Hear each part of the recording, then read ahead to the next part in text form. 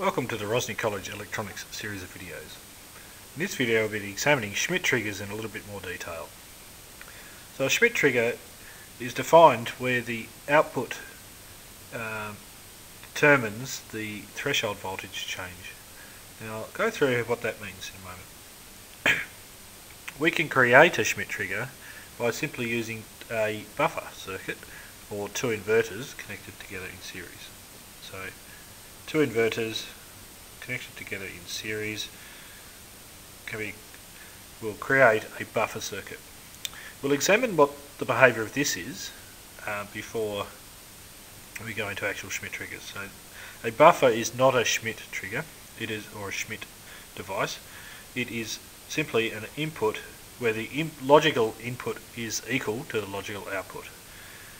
Uh, now if you remember the logical input is simply a voltage.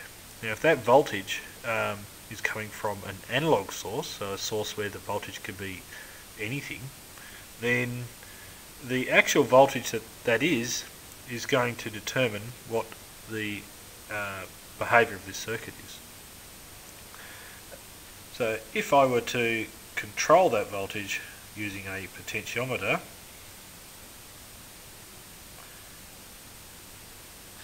like so, I can adjust the uh, knob on this potentiometer here and that will have the corresponding effect of controlling the voltage here between 0 volts and 9 volts. So I can control the voltage on the input of this first inverter um, to be anything I like between 0 and 9 volts.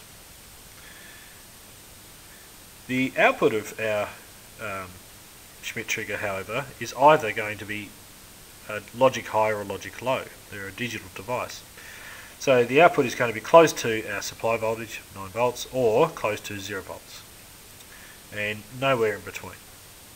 So if I were to graph what this looked like, my input voltage and my output voltage, so I'll label those on my graph here, and my circuit V in is the voltage on the input pin of this first uh, inverter, and the output voltage is the voltage on the output pin of the second inverter. So the output of our um, output of our buffer circuit.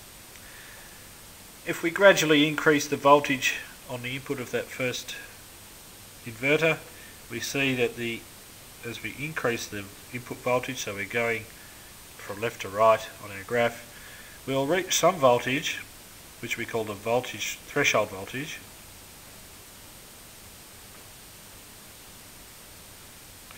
This threshold voltage is the point where this circuit will change state. So when it changes state it goes from a low to a high and the output voltage, which is how high above up the graph we are, will go from being a low voltage to a high voltage. And so if we gradually increase that voltage, we see at some point that the output of our output voltage of our circuit here changes from being approximately 0 to approximately 9 in this case, or whatever the supply might be. And then if we were to go back again, so if we decrease the voltage, we see that at the same threshold voltage, we get the same change of state happening. So as we decrease the voltage, we reach some our threshold voltage again, and we go back from a high to a low. So the um, the changing of state happens at the threshold voltage and that is determined entirely by the uh, two inverters there, not by the input voltage or the state of those inverters.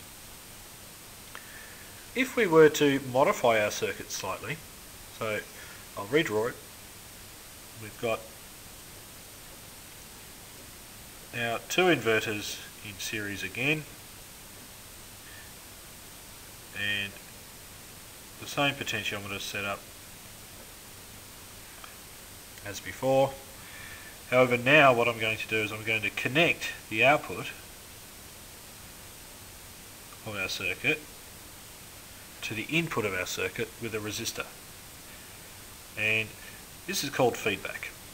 So the feedback in this circuit is taking some of the output and applying it to the input. Now let's think about what happens here.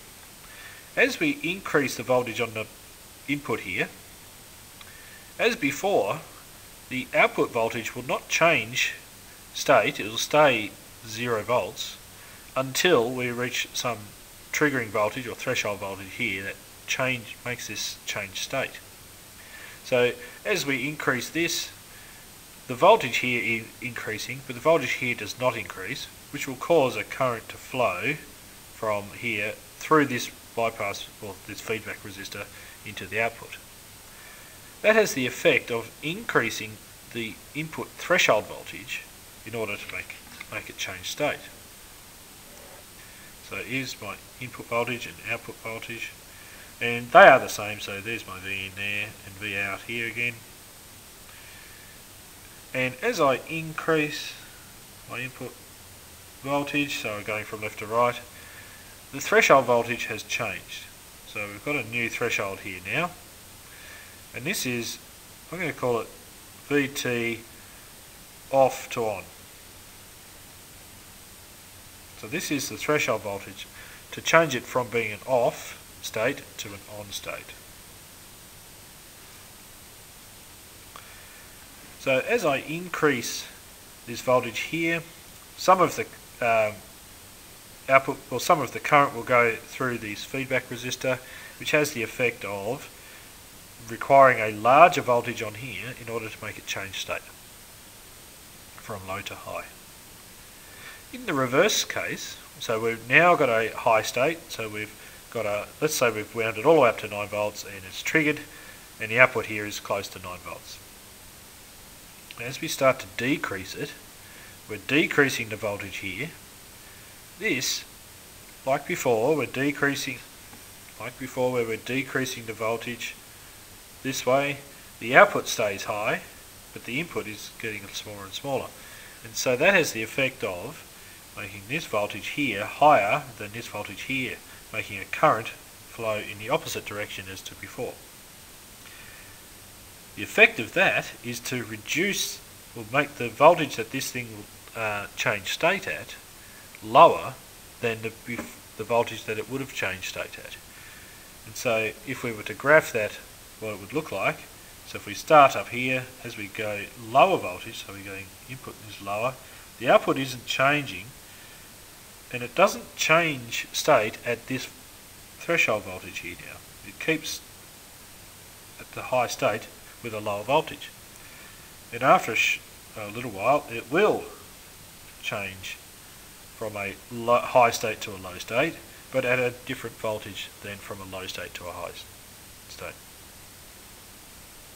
So as we go from a low to a high, the direction of my um, pathway here through my, I've graphed off my voltages, is as the arrows have shown. So I go from along here and then I need a, a, a reach a high, higher threshold voltage to turn it on. And once it's on, it takes a lower threshold voltage in order to turn it back off again.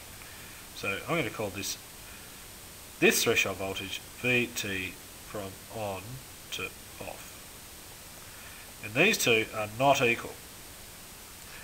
Unlike with just the buffer circuit before, the threshold voltage from on to off is equal to the threshold voltage from off to on. And so that has the um, what we call hysteresis. So where the pathway from um, one voltage to another is different to the return pathway, then we call that a hysteresis. So hysteresis. This is an important concept and it is useful in several applications.